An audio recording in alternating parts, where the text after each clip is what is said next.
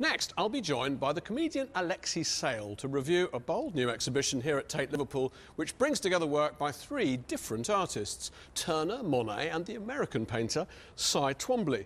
The common thread being that each produced some of his most radical work during the twilight years of his life.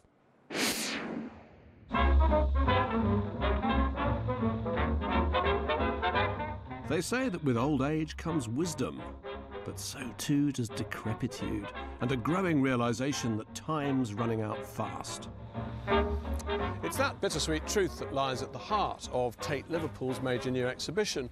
The idea is that by comparing the later works of three highly individual artists, certain common preoccupations might emerge. Personally, I've got my doubts about the show because while we know all about the links between Turner's visions and Monet's Impressionism, the presence of Cy Twombly, an American working so much later, seems like a little bit of a curveball. And I'm certainly intrigued. Keep young and beautiful. Joining me to assess the perhaps surprising rewards to be garnered from old age is Liverpool local and ex-art school student Alexei Sayle. Hi there. Dore. He's had a long, fruitful career in the arts. I want to see if together we can uncover some old dogs performing any new tricks. So, first important decision stairs or lift? I would run up the stairs, but in deference to you, we'll take the lift. Not that we're feeling our age. Age is just a number. A number which denotes biological decay. So, Alexei, everybody knows you as a comedian. Well, not many people realise that you actually really love looking at art. Yeah, well, I, I did um, five years at art school, so uh, served five years before the easel.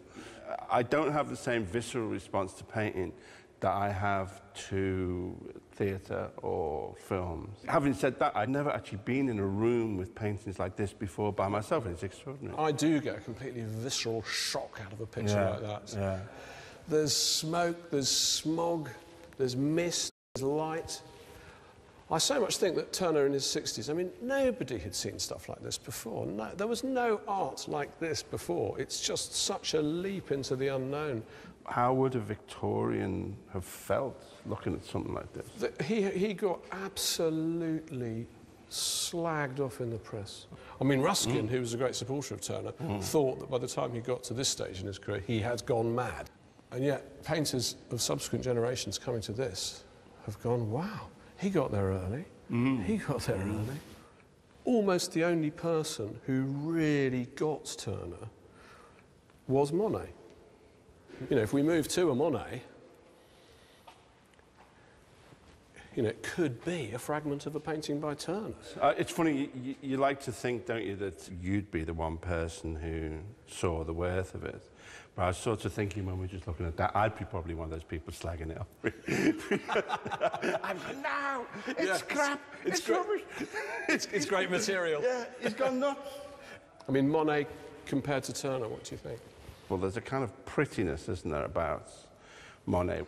This is a much more beautiful arrangement of colours.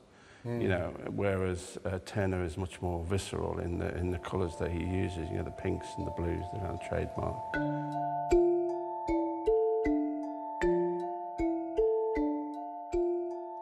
So they called this bit of the exhibition Vital Force.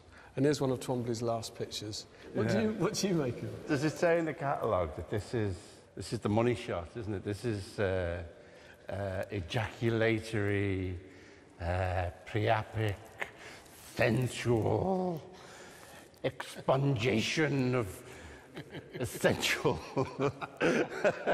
essential fluids. I read the same catalogue essay, I think.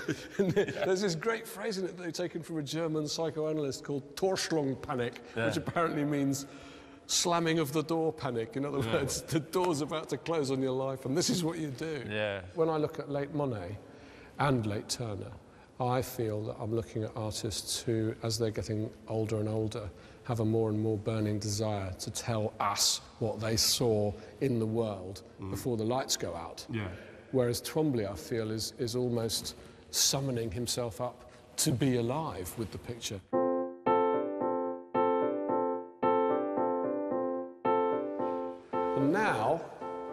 We've got dark walls.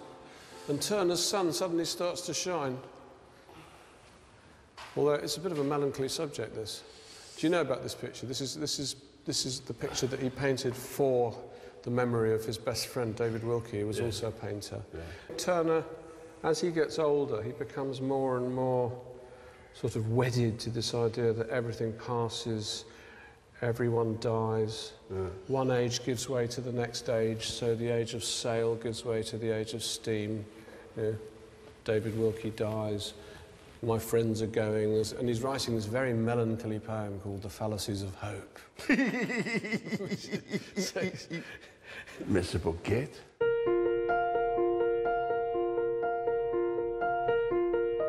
It's a pretty good grand finale. Monet Nymphéas water lily painting.